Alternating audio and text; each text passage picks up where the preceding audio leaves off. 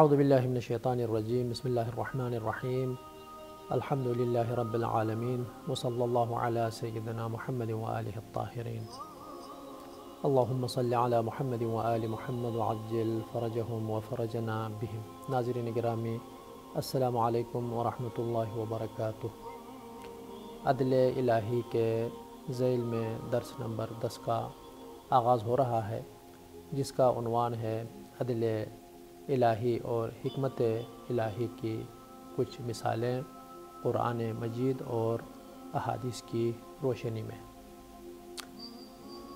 अजान ग्रामी, अदल इलाही के इस अहम मौजू के ज़ैल में जो उसूल दीन के दूसरा असल शुमार होता है, हमने बहुत अहम नकात की तरफ़ गुज्त दुरुस में इशारा किया है। और हमारी बहस यहाँ तक पहुँच गई थी कि अगर अल्लाह ताला आदिल है तो अल्लाह के अफ़ाल कैसे होते हैं? हमने कहा, अल्लाह ताला का हर हदफ हमत पर मुश्तमिल होता है। चूँकि अल्लाह ताला हकीम है, अल्लाह ताला खबीर है और आलिम है, बहुत ही जानने वाला, बहुत ही खबर रखने वाला, आगाह है, इसीलिए अल्लाह ताला का हर काम भी इल्म और हमत के मुताबिक होता है। बस अल्लाह ताला जो भी हुक्म देता है, उसके अंदर बहुत सारी हमतें पोशीदा होती हैं। जैसा कि हमने कहा कि अल्लाह ताला ने रोज़ा रखने का हुक्म दिया है। क्यों? इसमें तकवा है। नमाज़ पढ़ने का हुक्म दिया है। क्यों? इसलिए कि नमाज़ इंसान को बुराई और बेहयाई से रोकती है। रोज़े का जो हदफ और फ़लसफ़ा है, वो तकवा इलाही अख्तियार करना है। और जदीद इल्म ने भी ये कशफ किया है कि जो रोज़ा रखता है, उसकी सेहत जो है बहुत अच्छी रहती है और इंसान सेहतमंद रहता है। रिवायात में भी है कि सोमो तसहो तुम रोज़ा रखो ताकि तुम सेहतमंद रहो। उन मिसालों को पेश करते हुए हमने कसास का तस्करा किया कि अल्लाह ताला ने क़ुरान में जो मकतूल के वरसा हैं, उनको कसास लेने का हक़ से नवाजा है। उनको ये हक़ दिया है कि अगर किसी पर जुल्म हुआ है, किसी ने किसी पर जुल्म किया है तो वरसा को ये हक़ दिया है कि वो जुल्म का वहाँ पर इजाला करें, अपना इंसाफ वो शर्ई हदूद में रहते हुए हाकिम शरह से तलब करें। अब कुछ और मिसालें हम पेश करते हैं कि जिसमें अल्लाह ताला के अहकाम भी हमें नज़र आ रहे हैं और उन अहकाम के अंदर जो हमतें हैं, जो असरार हैं, अल्लाह ताला ने जो हदफ और मकसद उस हुक्म के अंदर रखा है उसकी तरफ़ जो है हम रुजू करेंगे। इंसान की खिलकत और का फ़लसफ़ा और हमत क्या है? जब हम ये जानना चाहेंगे कि अल्लाह ताला का हर फ़ेल अगर हमत पर हो, के मुताबिक होता है, उसमें मसलहत अगर पोशीदा है तो अल्लाह ताला ने इंसान को खलक किया है। तो इस खिलकत में, इस आफरीनिश में कौन सा हदफ पोशीदा है? अल्लाह ताला ने कौन सी हमत रख दी है। सुरह ज़ारियात आयत नंबर पाँच में अल्लाह ताला इरशाद फरमा रहा है, वमा खलक़ुलजन्न वल इंसा इल्लाबून यानी मैंने जन्नात और इंसानों को सिर्फ़ इबादत के लिए ही खलक किया है। बस अल्लाह ताला ने इंसान को खलक किया है, लेकिन उसके अंदर एक हमत एक हदफ और एक मसलहत पोशीदा है। वो क्या है? वो ये है कि इंसान अल्लाह ताला अपने खालिक की इबादत करे। इंसान की खिलकत का फ़लसफ़ा इमाम सदक सलाम की निगाह में हम यहाँ पर बयान करेंगे कि साइल ने सवाल किया है कि अल्लाह ताला ने इंसान को क्यों पैदा किया है? अल्लाह ताला ने इंसान को क्यों खलक किया है? इमाम सलाम ने फरमाया कि इन अल्लाह तबारक व ताली लम यखलुक खल्क हो अबसन। अल्लाह ताला ने इंसान को बेहुदा और बेहदफ खलक नहीं किया है। यानी इसके अंदर, इस खिलकत और इस तख्लीक के अंदर एक हदफ पोशीदा है। वलम यतरुक हम सुदा, और अल्लाह ताला ने इंसान को जब खलक किया है तो अपने इस हाल पर नहीं छोड़ा है कि बस इंसान को मैंने खलक कर दिया, बस अब जो कुछ इस इंसान ने करना है वो कर दे। नहीं, उसके अंदर भी एक हमत पोशीदा है। बल खलक हम इजहार कुदरती ही यानी अल्लाह ताला ने इंसान को पैदा किया है। क्यों? इजहार कुदरत ही ताकि अल्लाह ताला अपनी कुदरत का मुजाहरा करे, अपने कुदरत को यहाँ पर दिखा दे।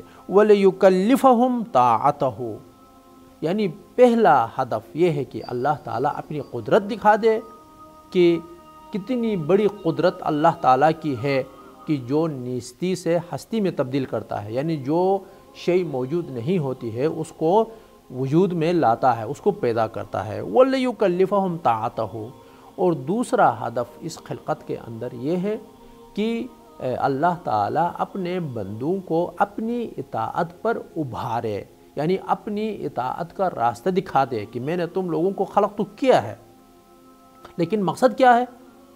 तुम मेरी इतात करो, मेरे फरामीन पर तुम अमल करो। फ़यस्तजबू बदाल के रिजवान हो ये लोग जब अल्लाह ताला की, अपने खालिक की इतात करेंगे तो वो अल्लाह ताला की रज़ायत के मुस्तक बनेंगे। यानी अल्लाह ताला इनसे राज़ी होगा। वमा खलक हम लजलिबा मन मिन हम मनफ़ातन अल्लाह ताला ने इंसानों को इसलिए खलक नहीं किया है कि खुदावंद मताल खुद अपने लिए कोई फ़ायदा उठा ले। यानी इसमें खुदा का कोई फ़ायदा नहीं है। वमा खलक हम लजलिब मिन हम मनफ़ातन। खुदा उनसे कोई मसलहत कोई फ़ायदा और कोई मनफात हासिल करे नहीं, इसलिए खलक नहीं किया है। वला यदफ़ा बिह मज़रतन और इसलिए भी खलक नहीं किया है कि इन इंसानों के ज़रिए से अपना कोई नुकसान दूर करे। कोई खसारे से ख़ुद को बचाने के लिए इंसान को खलक नहीं किया है। बल खलक हम हम बल्कि अल्लाह ताला ने इस इंसान को खलक किया है ताकि ख़ुद इस इंसान को ही फ़ायदा पहुँचा दे।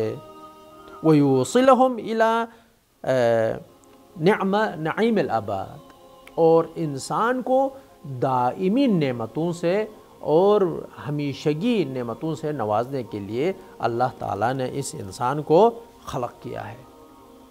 यहाँ पर इस आय शरीफा में अल्लाह ताला ने सुर ज़ारियात आयत नंबर पाँच में जो फरमाया कि वमा खलक़ुलजिन वलसा याबुदून ये इंसान की करामत की एक निशानी है। ये इंसान की शराफत की एक निशानी है कि अल्लाह ताला ने इंसान को इबादत के लिए खलक किया है। यानी इंसान की अज़मत और इंसान के एक अच्छा मखलूक होने की निशानी है। क्यों? इसलिए कि एक सादा मिसाल के ज़रिए से जो आका और ग़ुलाम की जो नस्बत होती है, इनके आपस में जो ताल्लुक़ होता है, वो क्या होता है? वो इसमें यही होता है कि इंसान जब किसी ग़ुलाम को ख़रीद लेता है या इंसान किसी अपने आका का जब वो मुलाजिम बनता है, वो खिदमत गुज़ार जब बनता है तो आका की ख्वाहिश यही होती है कि वो हमेशा ग़ुलाम भी अपने साथ ही रहे। ग़ुलाम से मदद ले ले। अलबत् खुदा के बारे में ये कहना सही नहीं है, लेकिन हम नशीनी का जो ताल्लुक़ और रबता है, उसको समझने के लिए हम ये मिसाल दे सकते हैं कि आका हमेशा चाहता है कि अपना ग़ुलाम अपने साथ ही रहे। और अगर यही ग़ुलाम अपने आका की इतात में हमेशा अपना अच्छा रोल अदा करे, किरदार अदा करे, अपने आका को अगर हमेशा खुश रखे तो यही आका अपने ग़ुलाम को बहुत सारे इख्तियार से नवाजता है। बाद में हम इंशाल्लाह इस नुक्ते की तरफ़ इशारा करेंगे लेकिन जितना बंदा अच्छा बनेगा, आका उतना ही उससे राज़ी होता है। उससे राज़ी होने के साथ साथ हमेशा उसको अपने साथ रखता है। तो अल्लाह ताला ने इंसान को खलक किया है और उसमें ये फरमाया है कि मेरा हदफ और मकसद इस इंसान की इबादत है मेरे लिए, कि वो मेरी इबादत करे, हमेशा मेरे फरामीन की वो तामील करे। तो बस, यानी यकीनन एक इंसान, एक अच्छा मखलूक है। इसीलिए अल्लाह ताला चाह रहा है कि इसका रबता, इस मखलूक का रबता हमेशा अपने खालिक के साथ ही रहे। तो ये इंसान के लिए बाईस फ़ख्र है कि रब ने ऐसा इसको पैदा किया है कि वो हमेशा अपने साथ इसको मतलब रखना भी चाहता है। एक और मिसाल है हमत इलाही की। वो मौत और ज़िंदगी की खिलकत का फ़लसफ़ा और हमत है। अल्लाह ताला ने मौत को खलक किया, ज़िंदगी को खलक किया। क्यों? सुरह मुल्क आयत नंबर दो तबारकल्लदी बेदिल मुल्क वह आला कुल्ल शेन कदीर। अल्लाह ताला की ज़ात एक ऐसी बाबरकत ज़ात है कि जो हर शे पर कुदरत रखती है, तवाना है। यानी बादशाहत उसके हाथ में है। अल्लदी खलकल मौत वल हयात। एक ऐसा बादशाह जिसने मौत को भी पैदा किया और जिसने ज़िंदगी को भी पैदा किया। यानी अल्लाह ताला ने इंसान को ज़िंदगी भी दी है, मौत भी दी है। क्यों? तबारकल्लदी बेदिलमुल्क वह अलाकुल्ल शेन कदीर। यानी हर चीज़ पर ये बादशाह कुदरत रखता है। लेबलुकुम अयुकुम अहसन अमला। ताकि रब जान ले, अल्लाह जान ले कि तुम में से कौन नेक आमाल अंजाम देता है? बस मौत और ज़िंदगी की खिलकत में भी फ़लसफ़ा पोशीदा है हमत पोशीदा है। अल्लाह ताला यूँ फरमा रहा है कि मैंने तुम लोगों को बेमाना और बेमकसद खलक नहीं किया है। मेरा हर काम हमत के मुताबिक होता है और मैं जानना चाहता हूँ कि तुम में से कौन नेक आमाल अंजाम देता है? तो बस अल्लाह ने ने हमारे नेक आमाल को जांचने के लिए जब हमें पैदा किया है तो फिर इस कायनात में, इस दुनिया में हम जहाँ कहीं भी जाते हैं, उस इम्तिहान को हमें हमेशा जहन में रखना होगा कि अल्लाह हमारा नेक आमाल चाहता है। हम जिन अफराद के साथ रहते हैं, जिनके साथ हम गुफ्तु करते हैं, जिनको जो कुछ हम बोलते हैं या जिनसे हम जो कुछ सुनते हैं जो हम खाते हैं जो हम पीते हैं हलाल के मुताबिक हराम के मुताबिक जो कुछ यानी अल्लाह ताला के फरामीन के मुताबिक ये ज़िंदगी हमारी चल रही है या नहीं ये इस अपनी ज़िंदगी की तरफ़ हमें मुतवजह रहना होगा। क्यों? अल्लाह ताला ने हमें हमारे अच्छे आमाल को आ, मतलब देखना चाह रहा है और हमारे अच्छे आमाल को देखने के लिए अल्लाह ताला ने हमें पैदा किया है। अगला जो मसला है जिसके अंदर हमत पोशीदा है, वो ज़मीन की जीनत और आरास्तगी का फ़लसफ़ा है और इसकी हमत है। अल्लाह ताला ने इस कायनात को खलक किया है। आप पहाड़ों को देखें, कितने सरसब्ज हैं, कितने जंगल हैं। आप पानी को देखें, पहाड़ों से बहते हुए चश्मे। आप उस सरसब्ज और शादाब मौसम को आप देखें, हवाओं को देखें, जिसको इंसान देखकर वो कितना महजूज होता है। इन्ना जालना मालद जीनत अल्लाह अल्लाह ताला इरशाद फरमा रहा है कि यानी हमने जो कुछ इस ज़मीन पर मौजूद है, उसको हमने ज़मीन के लिए और दुनिया वालों के लिए आरास्ता बना के पेश किया है। यानी जीनत बख्श जो है हमने एक तख्लीक की है। लेनबलुहम आयुहम अहसन वामला ताकि हम उनको आजमाएँ। कि उनमें से कौन नेक अमाल अंजाम देते हैं? ये आय शरीफा बिलखसूस दौर हाजिर में जो लोग घूमने के लिए जाते हैं, बिलखसूस बाहर के मौसम में या गर्मियों के मौसम में एंजॉय करने के लिए अपने इलाकों से, गर्म इलाकों से दूर दराज इलाकों की तरफ़ हिजरत करते हैं, मुख्तसर अयाम के लिए, लंबे दिनों के लिए, महीनों के लिए। कुदरत की निशानियों को देखने के लिए ये चले जाते हैं, सफ़र करते हैं, पैसा खर्च करते हैं हती कभी कभार तलख, हवादिस और वाक़ात भी इंसान को पेश आ जाते हैं। लेकिन उन सबको बलाए ताक रखते हुए कुदरत की इन निशानियों में वो सफ़र करता है, पहाड़ों में। दरिया के किनारे, पानी के किनारे, चश्मों के किनारे, सरसब्ज मैदान में। ये सब देखता है, लेकिन बाज़ लोग वहाँ जाने के बाद नाचते हैं। खुदा को भूल जाते हैं। खुदावंद मुताल ने फरमाया है कि जो कुछ ज़मीन पर हमने पैदा किया है, वो आरास्तगी और ख़ूबसूरती के लिए पैदा किया है। क्यों? ले नबलुम हम अहसन यानी नेक अमल के एतबार से कौन बेहतर है उनको जांचने के लिए। लेकिन इंसान खुदा के इस कौल को, खुदा के इस आजमाइश को, खुदा के इस इम्तहान को भूल चुका होता है, बल्कि खुदा की नाफरमानी में यानी खुदा में नेक अमल को, खुदा ने देखने के लिए, नेक अमल को देखने के लिए जो खलक किया है, वो भूल जाता है और वो बुरे अमाल इस ज़मीन पर, इस आरास्ता कायनात में इंसान अंजाम देता है। तो हमें इस दुनिया की जीनत और आसगी को देखकर मासीत के समंदर में गवासी करने के बजाय खुदा की हमत में अंदेशा और फ़िक्र करके अपने आप को बचाना चाहिए और खुदा ने जिस हदफ और मकसद के लिए हमें भी, यानी इबादत के लिए, और इस कायनात और सरसब्ज और शादाब और जीनत बख्श माहौल को अल्लाह ताला ने जो खलक किया है और उसका हदफ और मकसद नेक आमाल हैं तो इन नेक आमाल और हदफ और मकसद को हमें नहीं भूलना चाहिए। अल्लाह ताला इरशाद फरमा रहा है, सूरह आल इमरान आयत नंबर एक सौ तिरपन में मिन को मन युरीद दुनिया। आप में से बाज़ लोग ऐसे हैं कि जो सिर्फ़ दुनिया को तलब करते हैं। यानी सिर्फ़ दुनिया के इस आरास्तगी में वो गुम हो जाते हैं, वो खो जाते हैं। क्यों? उनका हदफ और मकसद सिर्फ़ और सिर्फ़ दुनिया है। वमिन को मन युरीदुल आखरा। और आप में से बाज़ लोग ऐसे हैं कि जो आखरत के दर पे हैं। वो इस दुनिया को एक पुल के मानंद देखते हैं कि ये पुल क्रॉस करके हमें उस तरफ़ जाना है। और पुल जैसा भी हो, इधर से हमें गुज़रना है और उस तरफ़ जो नेक, अच्छे जो इलाक़े हैं, खूबसूरत सरजमीन है, खूबसूरत जगह हैं, खूबसूरत नमात हैं उन तक जो है रसाई हासिल करनी है। तो बस अल्लाह ताला ख़ुद इरशाद फरमा रहा है कि आप में से बाज़ सिर्फ़ दुनिया चाहते हैं, बाज़ सिर्फ़ आखरत चाहते हैं।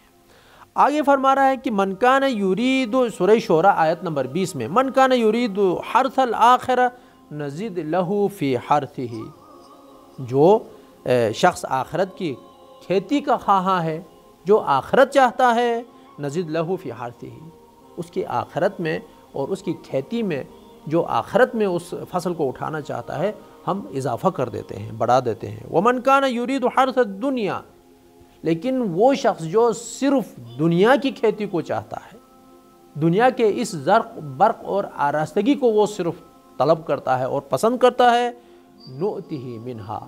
हम उसको इसी दुनियावी नेमात से हम उसको नवाजते हैं, वमा लहोफिल आखिरत मिन नसीब। लेकिन जो सिर्फ़ और सिर्फ़ दुनिया तलब है, उसको हम सिर्फ़ दुनिया ही देंगे। आखिरत में उसका कोई हिस्सा नहीं होगा। तो बस अल्लाह ताला ने इन आयात में, इन अहकाम में हुक्म के साथ हमत का भी तस्करा किया है कि अल्लाह ने किसी काम को अंजाम देने के लिए हुक्म किया, लेकिन इसके अंदर क्या हमत है? अब अदल इलाही के असरात क्या हैं? यहाँ पर इंसान ने अल्लाह ताला की अदालत के बारे में ईमान लाया कि अल्लाह ताला आदिल है। और ये भी कहा कि ये अदल अक़ल के ज़रिए से हम समझ सकते हैं कि खुदा आदिल है। और ये भी समझ लिया कि अल्लाह ताला के बहुत सारे अवसाफ़ हैं। जैसा कि अल्लाह ताला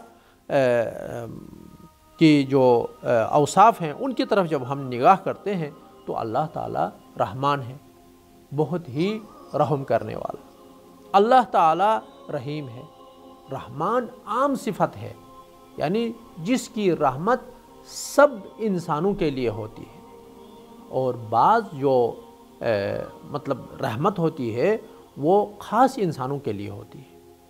जैसा कि जो मोमिन हैं जो खुदा पर ईमान ला चुके हैं उनके लिए वो रहमत मखसूस होती है। अब अल्लाह ताला की रहमत में जो आम इंसान इस कायनात में जो ज़िंदगी बसर कर रहे हैं आप उनको देखें कि सब ज़िंदा हैं। जो खुदा को मानते हैं वो भी खुदा की इन नेमतों से इस्तेफादा करते हैं। जो खुदा को नहीं मानते हैं वो भी खुदा के इन नेमतों से महजूज होते हैं। अब काफिर हो या मुसलमान सब ज़िंदगी करते हैं। जो मुसलमान हों या काफिर सब ए, मतलब ए, इस ज़मीन पर वो बसते हैं। वो इंसान बेनवान इंसान जो कुछ उसके हाथ में आता है, वो इस्तेफादा कर लेता है, वो सांस लेता है, वो पानी पीता है, वो दुनियावी नेमतों से इस्तेफादा करता है। हैवान भी, इंसान भी चरण परन सारे। तो इसमें इसको अल्लाह ताला की रहमानियत कहते हैं। यानी अल्लाह की रहमत है, लेकिन ख़ास अफराद से ये मखसूस नहीं है। बल्कि सब जो है अल्लाह ताला के इस रहमत बेकरान से फ़ायदा उठाते हैं।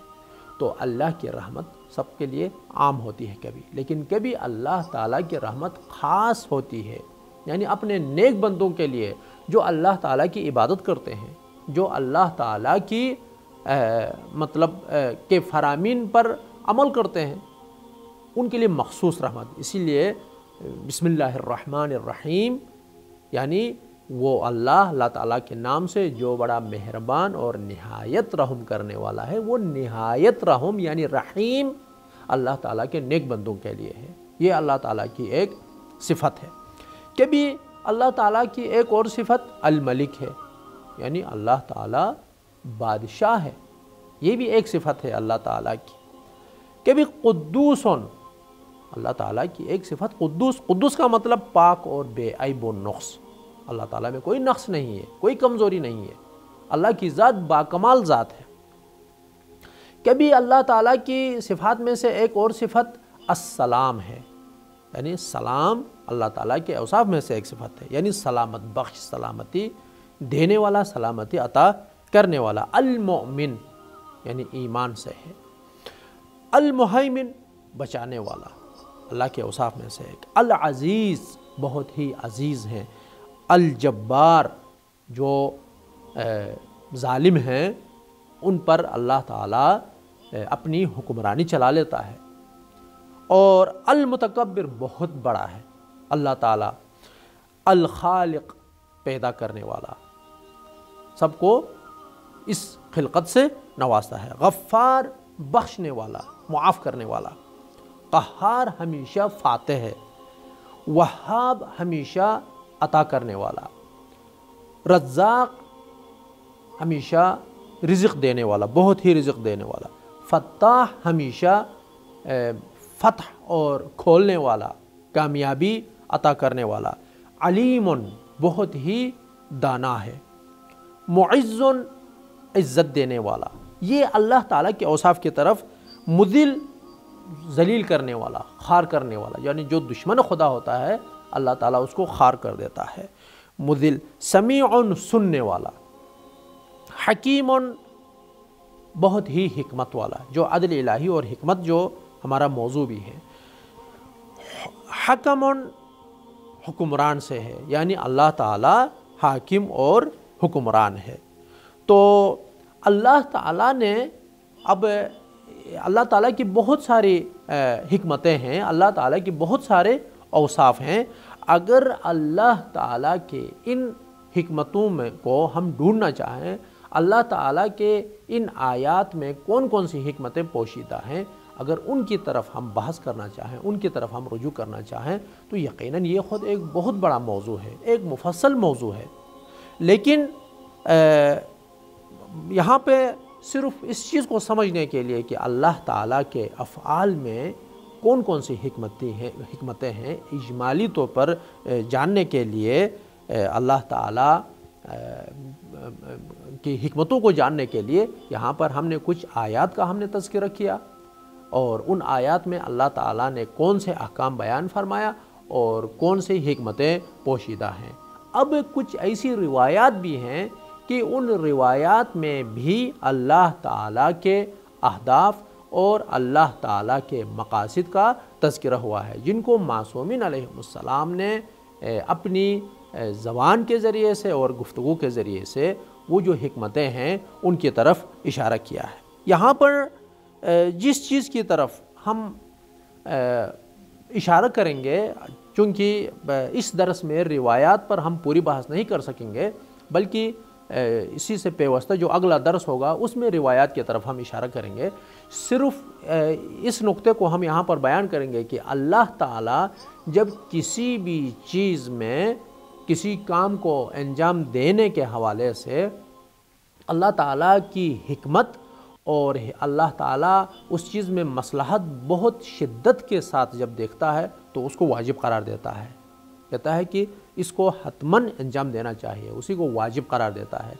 लेकिन अगर किसी चीज़ में अल्लाह ताला को मफसदा नज़र आ जाए, नुकसान नज़र आ जाए, अल्लाह ताला राज़ी न हो कि वो काम अंजाम पाए तो उसको अल्लाह ताला हराम करार देता है, ताकि लोग इसकी तरफ़ जो है बिल्कुल न देखें, इसकी तरफ़ आगे न बढ़ें।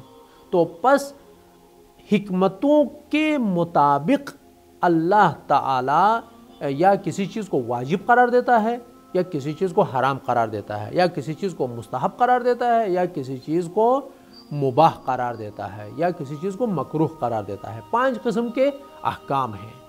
वाजिब, हराम, मुस्तहब, मकरूह और मुबाह। तो ये सारे अहकाम हमतों पर ही मुबतनी हैं। यानी हमत के मुताबिक वाजिब। हमत ज़्यादा हो इसमें अंजाम देने पर तो वाजिब। अगर हमत उसको तर्क करने पर हो तो हराम। अगर अंजाम देना बेहतर हो तो उसको मुस्तहब। लेकिन वाजिब के हद तक उसमें जो है मसलहत शिद्दत के साथ नहीं पाई जाती है। या तर्क करना मुनासिब हो, बेहतर हो तो उसको मतलब हराम करार नहीं देता, बल्कि मकरू लेकिन वो मतलब दरमियाना हो अंजाम देने या और न देने में तो फिर उसको मुबाह करार देता है। तो हमतों का फ़लसफ़ा अहकाम शर्या और अहकाम तकलीफ़िया का जो फ़लसफ़ा है, वो इन्हीं हमतों पर पोशीदा है। तो आयात में जो हमतें हैं, उनकी तरफ़ हमने इशारा किया। अगले दरस में इन रिवायात में जो हमतें पोशीदा हैं, उनकी तरफ़ भी हम इशारा करेंगे। अल्लाह ताली हम सबको अदल इलाही और हमत इलाही को बिना हुए अहसन समझने और अंजाम देने की तोफ़ी कनात फरमाए। आमीन सुम आमीन। वालकम वरहमल वर्का